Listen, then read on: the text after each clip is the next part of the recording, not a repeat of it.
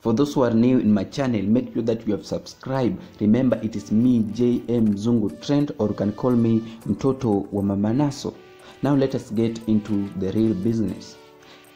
Of late, Thee Pluto has been seen with the beautiful Nasha Travis together.